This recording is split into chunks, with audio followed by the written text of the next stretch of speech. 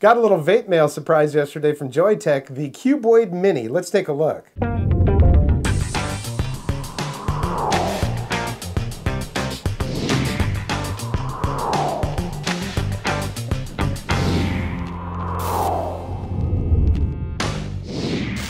Welcome to the Vapor Trail channel. I'm Tony. Joyetech has been making some great products lately. Their chip is fantastic. They use it in everything from the eVIC VTC Mini to the Cuboid. And, you know, I'm pretty sure that Wismec and eLeaf are also under the same parent company. So many of the same features, while they may look a little bit different on those other devices, are still coming from that same chipset. So when they put out something new, people pay attention. So this is the Cuboid Mini. It's pretty tiny, especially compared to the original Cuboid.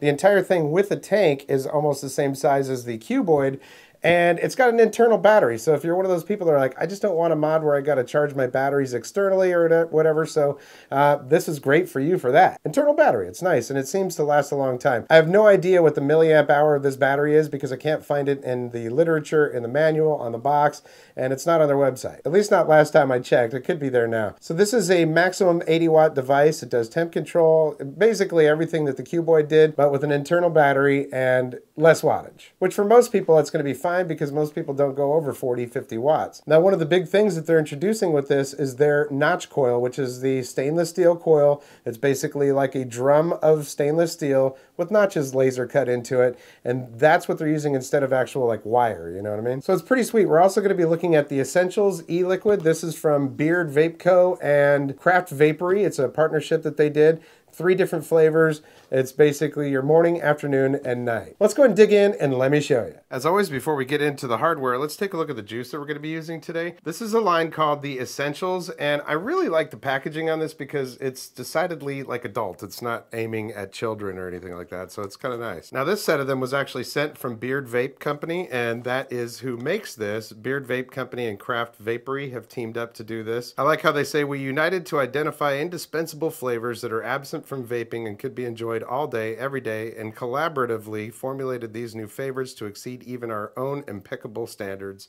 The essentials all day, every day. So basically, you have morning, afternoon, and night. And there's the Beard Vape Co. guy. I'll put a link down in the description for that. And let's see. So just real quickly, let's look at the boxes so we can see. This one right here is smelling so good, and I really am I'm trying to decide between this lemon drizzled dosant, so like a uh, cronut. That is morning, and then afternoon is a classic mojito. This one smells good, but out of the three, it's not the one that I'm dying to try.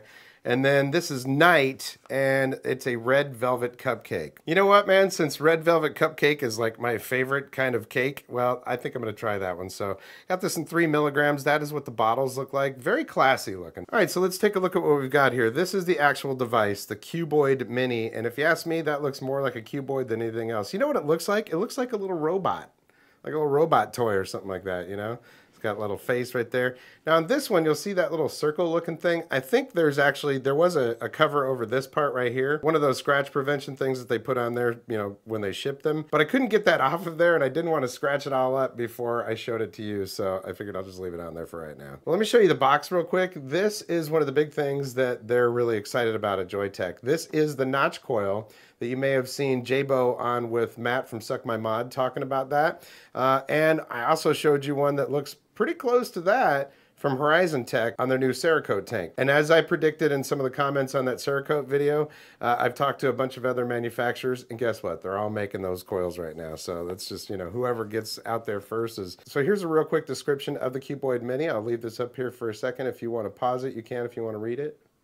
And then all of the contents of the box, there's the Cuboid Mini, a Cuboid Mini atomizer, the notch coil, which is the one that they recommend, of course. And you'll notice that it says DL on there. That is direct lung, and then MTL is mouth to lung. So they even tell you which one they're recommending for what style of vaping. Then you got a stainless steel coil, a Clapton coil, and then there's an RBA vertical that's actually all included inside this box. Got two mouthpieces, a USB cable, and a manual and warranty card. This is the silver one. Those are the colors that they come in. That's a lot of stuff inside this box. Of course, it is upgradable firmware, and it says right here with the new notch coil. Open up the box, and everything looks pretty familiar. That's where the mod was sitting. underneath here, warranty card. This is kind of cool. This is something that they give you inside the box to tell you a little bit about the coils. So it says right here, direct lung vapor, mouth to lung, durability, liquid consumption. So they tell you with little thumbs up dealies on each one of the different factors for these different coils. So if you look up here, the notch coil, they say it's great for vapor production, great for direct lung, not as great for mouth to lung, big durability, Liquid consumption, it's not so great. Battery consumption, also not so great. So I think that's pretty cool. And then down here on the bottom, it says what kind of vapors would be able to use those coils. So the Cuboid Mini, this is the stainless steel version of it. It is a bit of a fingerprint magnet. Got a little plate on the back here that says Cuboid Mini. Got your fire button over here, plenty of venting. This is an internal battery and nowhere in the manual or anywhere else in the box or anything like that does it tell me what the milliamp hour of this battery is. It's not a small battery, here, I want to do this. Let's do a couple of comparisons. This is the actual cuboid right here. It's the black one. It's kind of hard to tell, but you can see it right there. So it's, it's fatter. It's a little bit wider. It's, it's a bigger, bulkier device. Let's take this tank off of here. Yeah, this is the tank, believe it or not. The actual device is much smaller. And you can put whatever tank you want on here. I mean, this is just, you know, it's just it's just a mod, an 80 watt mod. And then that is it next to the eVic VTC Mini. All right, since we have the tank off here, yeah, this one says sample. We have stainless steel threads on here, spring-loaded pin, and fire button right there. Again, plenty of venting down here, and then that little tiny pinhole right there is for resetting the device. Now, it functions just like the Cuboid or the eVic VTC Mini or, you know, any of the Joyetech devices pretty much are using the same chip. And the chip is very good. I really like the chip that they use. They perform good, and they have lots of functions. So I'm not going to go through every single function on this, but to turn it on, it's five clicks. Oh, the key lock is on. So if you want to turn the key lock off, then you just hold these two buttons down. And now they're unlocked. All right, so you can adjust the wattage up and down. It shows the volt, the coil, the amp, and you can change this bottom one here. If you hit this three times, if you hit the fire button three times, you see I got a lot of fingerprints on here already. It is kind of a fingerprint magnet, but one, two, three. And then that's blinking, so you got bypass mode. You've got NI200, titanium, stainless steel. That's 316 stainless steel. And then, of course, you've got your TCR, so you can go in there and set custom TCR values. And then there's your power. So when it's in this mode, if you go like this, then it's going to switch down here to the amp thing in power.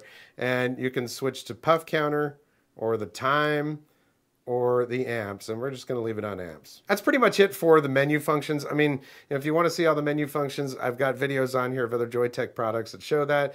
Uh, even the iStick Pico uses basically the same kind of menu stuff. So just wanted to make sure that we got a chance for you guys to see this thing, and I wanted to test it out. So we've got your USB up here at the top, which is actually very nice. That way you can set it down, plug it in to charge it, and I'm pretty sure this has the 2 amp charging ability. So that's the mod itself. Let's look at this tank.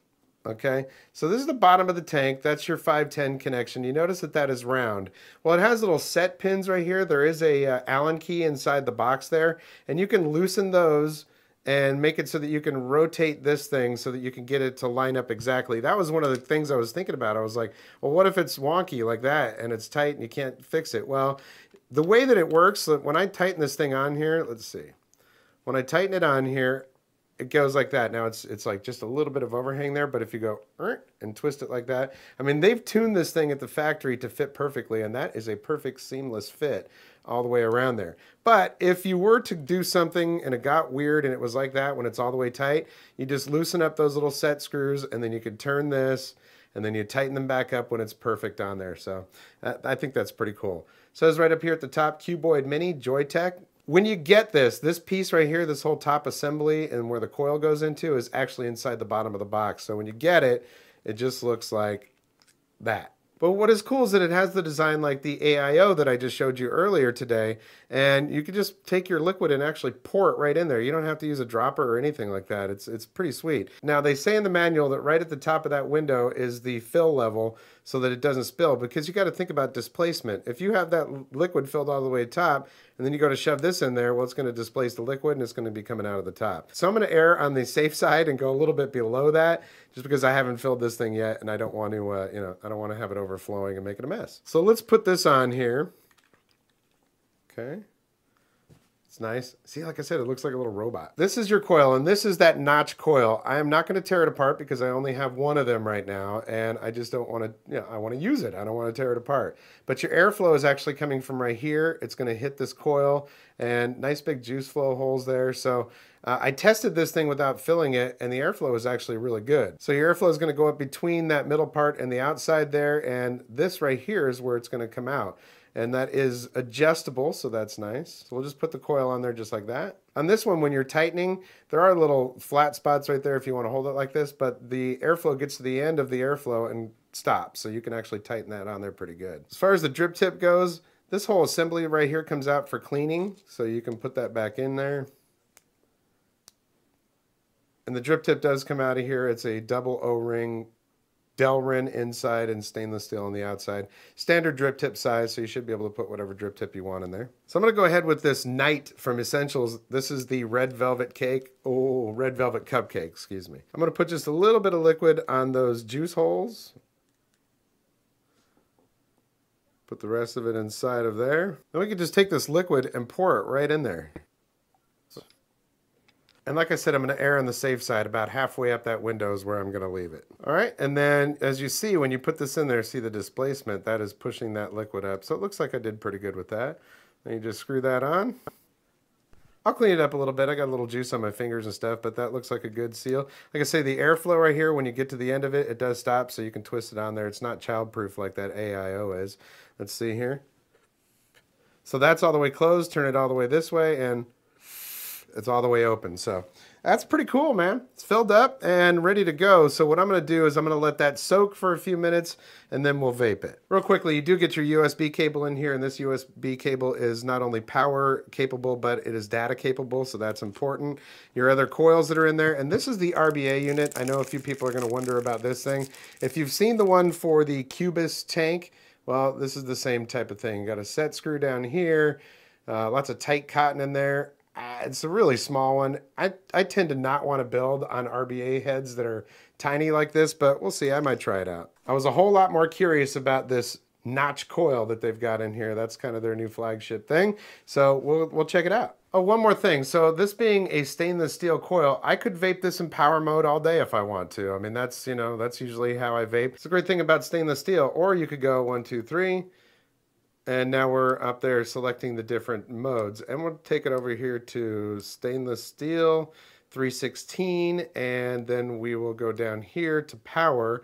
And I'm going to take the power down to about, say, 50 watts. Now this thing moves really fast when you're doing this. So if you're trying to get a certain, you can't go backwards when you do it, selects a different element on there. So what you want to do is kind of get it close to where you want to go. Oh, look at that. I stopped right on 50. That's crazy. It never happens. Then if you go to coil like that, you can lock the resistance. Now I got a little lock there, so the resistance is locked at 0.25, and we're just going to leave that on amps. So there we go. We're ready to vape this in stainless steel temp control mode. Or like I said, if I want to, I can take it back to the power mode and vape it that way. So yeah, it's definitely an interesting little mod. Like I said, it looks like a little robot. I think it's kind of cool looking. And of course, you can put whatever tank you want on it. This is one of the first times that I've gotten a kit where I go, oh, I actually like the tank that came with the kit. At first, I looked at it and thought that looked a little bit odd because it's so square like that. And is it always going to match up? But apparently you can, so that's pretty cool. Again, I've got the red velvet cupcake in here, which is Night from the Essentials. And I've got this on stainless steel temp control, 450 degrees and 50 watts. Let's go ahead and get a vape.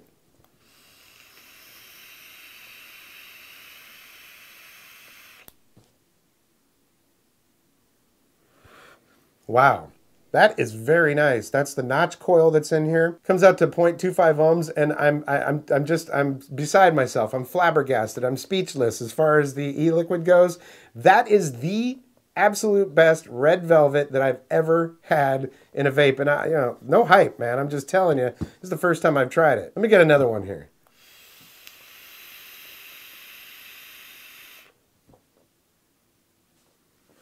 Wow Holy guacamole! Um, I don't know if it's the uh, the coil itself that's producing such great flavor or the uh, the juice, you know, but it's it's really good. Sugar lips for days. You know, I'm a flavor whore from way back, right? So uh, if I find a good juice, man, I, I can only imagine that the rest of these are going to be really good. That morning's sounding better than the afternoon. I don't know. Mojitos aren't my favorite drink, but it smells really good, so it'll probably taste really good. Let me get one more here. Actually, what I'm going to do is I'm going to put this into power mode now.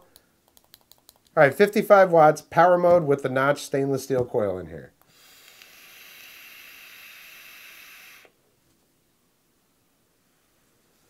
Also very good, but this is a case where, you know, I don't use temp control a whole lot. I'm just not the, uh, the biggest temp control guy, but in this case, I'm liking that temp control a whole lot more. So I'm going to put this back in temp control. Again, I got a 450 degrees and 50 watts. Let's get one more here.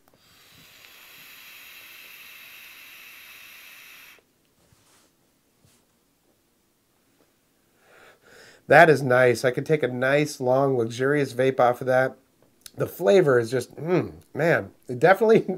okay, I'm definitely on the sugar lips tip there, man. And you know, this tank can hold a lot of juice. That big whole square area in there is all juice, and it, uh, man, it's it's doing really good. That was with the airflow all the way open. Of course, you can adjust your airflow or whatever you want, but uh, that, this is a winner, man. This is a winner, and so is this juice. You've done it again, Beard Vape Co. You know, I, I reviewed that Punch recently, the Punch Co. Uh, that's also from Beard Vape, and that stuff was tasty. Uh, I'm thinking they're doing really good. In fact, I want one more.